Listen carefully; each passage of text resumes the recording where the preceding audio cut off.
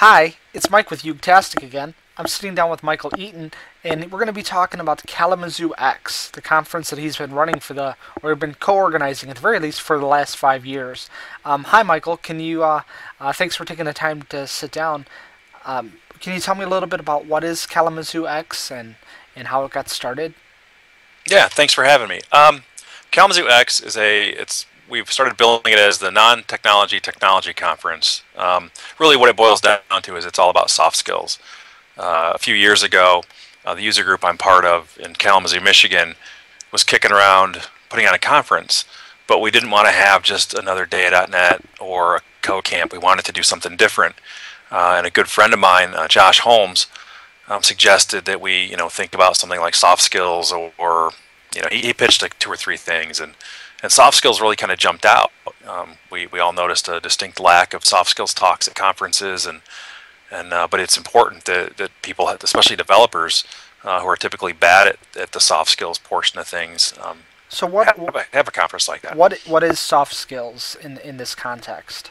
So soft skills, we do everything from. Uh, so the I guess the original vision was things like design, architecture, um, you know, user experience, um, but it's turned, it's kind of turned over the last couple of years into more of, you know, a lot of interpersonal communications, uh, a lot of things like that. Um, you know, how to be a better person is what a lot of it comes down to.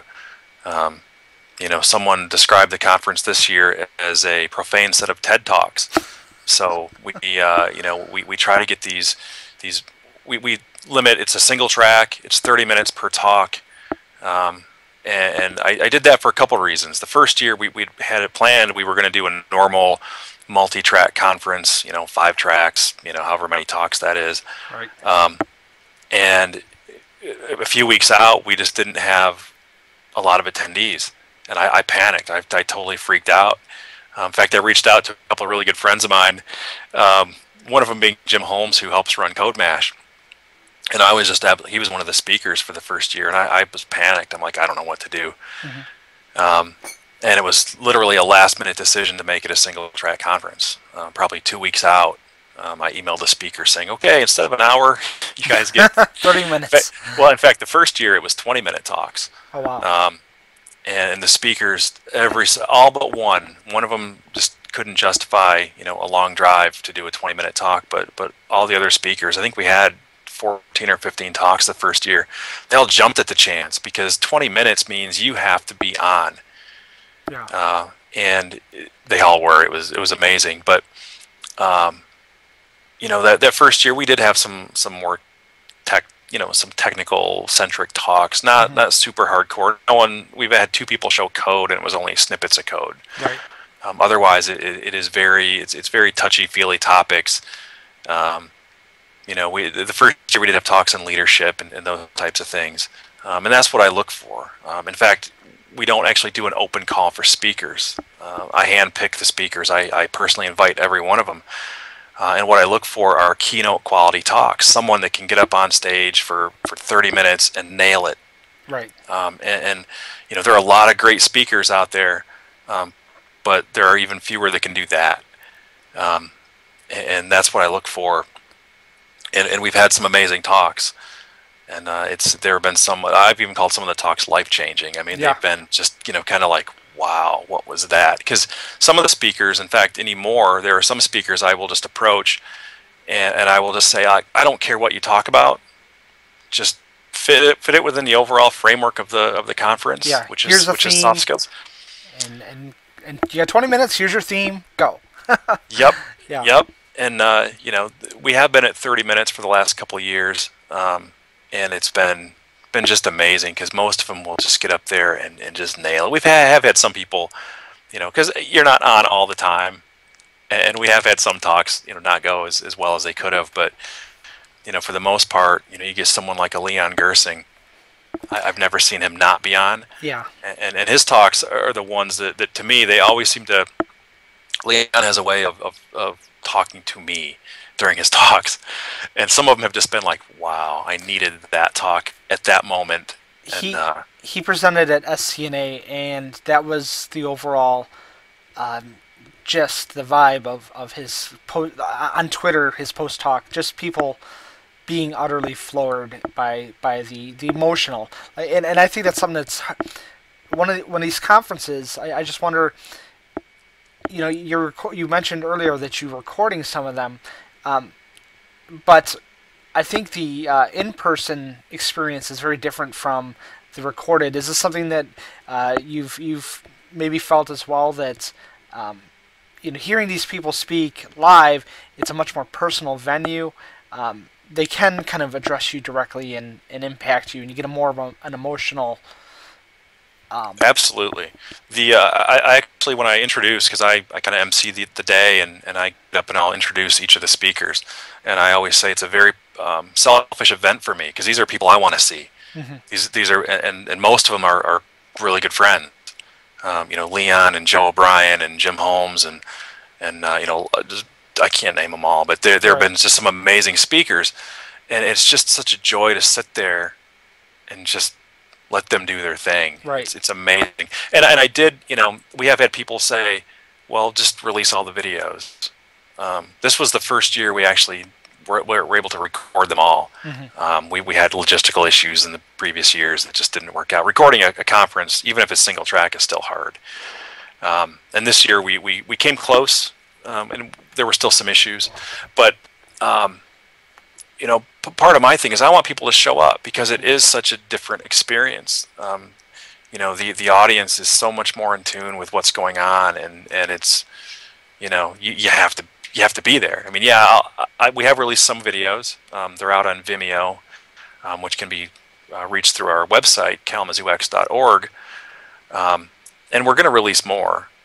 But in, in the end, you know, I, am doing this to help drive people to come next year, um, because uh, you know next year is going to be year five, and you know this year was as perfect as as it could have been, and next year we're going to try to top it. And we've got some, we've got a couple speakers lined up. Um, in fact, I've been soliciting some input from um, some some past attendees, just to ask them, you know, what have we done wrong? What have we done right? What what do you want to see? Um, and it's it's been it's been just a blast. It's a it's a great conference. The people that have been have, have come to the conference get it, mm-hmm. um, and and they're you know people have said it's it's one of their favorite conferences to come to. It's relatively small, um, and it is in Kalamazoo, Michigan, which is kind of out of the way. But you know what? We've had people come from Chicago. We've had people come from as far away as Louisville, and and you know we've flown speakers in from. Um, Colorado. We had a, we flew a speaker in from Colorado, but we have had people drive. We had people fly in from different places to, to come to the conference. Now it seems to me like I'm starting to see kind of a, a little bit of a theme with community uh, conferences that's starting to ev- evolve with more of this, um, like you said, soft content, but kind of contrasting that to hard tech conference. Some people say, "Oh, I go to a conference, I want to hear about the latest and greatest frameworks and techniques and all that stuff. But um, going to a conference like uh, like what you're describing, Kalamazoo X, and then the certain talks that happened even at Windy City Rails with uh, Steve Klabnik talking about philosophy for software development, and then Leon at SCNA talking about uh, the his um, um, keeping software weird, and then what you're talking about at, at, at Kalamazoo. It, it almost feels like there's starting to be a little bit of a, a trend that people are you know, we, we get enough tech at work and we get enough tech through normal means, but getting that human interaction, getting motivated in, a positive way, not just, hey, rah, rah, rah, but like trying to reach to an emotional core for why we do what we do and why we're passionate about it. It seems, I mean, is is that, um, have you been ever, anybody complained about, hey, why is it a more like, latest greatest tech or from Microsoft or, or yeah, our, our after event survey, we get that a lot. Um, and, and I, I stress about it.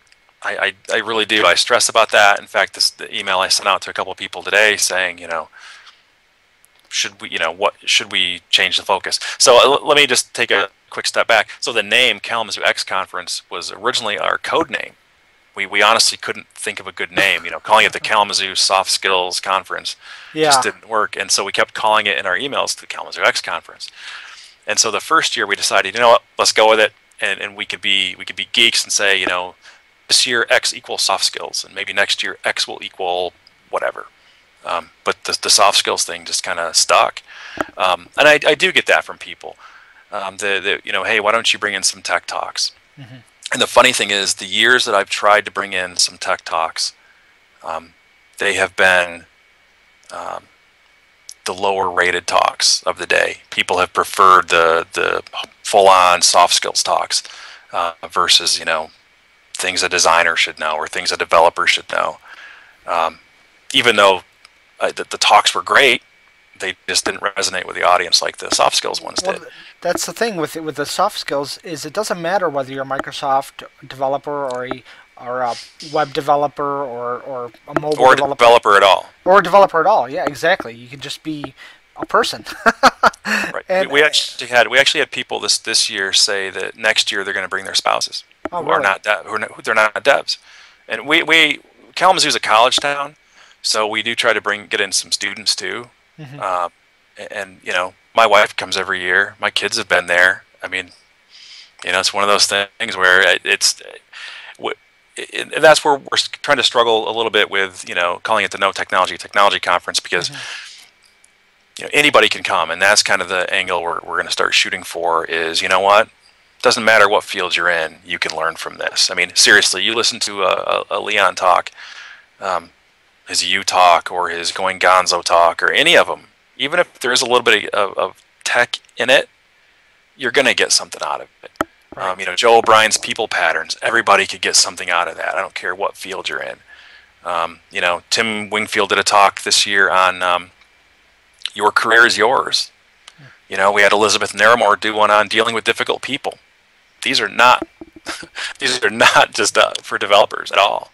Yeah, so it's like kind of a, a developer maybe bend or theme for the day, but any any any person could come to this conference and and still get some value out of it.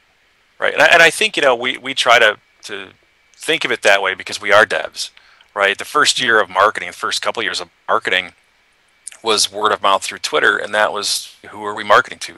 Our friends on Twitter, who are almost all devs. Um, you know, this year we're, you know, I'm, I'm trying to, to make a little little more of it on on Facebook and try to get people pulled in that way to see what it's about. Um, we've got the videos that have been released. Um, I'm trying to think. We, we've you know we've got Elizabeth's out there, Leon's, uh, Tim's. None of them are like hardcore tech. So you know I would certainly recommend anybody watch those. Even Ju- I mean Justin Searls talks about the Mythical Team Month, which is a little geeky, a little more more technical, but but still, I mean it's it's all good soft skills, people related communication type stuff that everyone can use. Okay. All right. Well, um, thank you very much uh, for taking the time to sit down and talk about Kalamazoo X. Uh, sounds like it's a really exciting conference, and I will have it. Uh, um, I will be sure to post this before before the uh, the conference. Okay. okay. Thank you very much.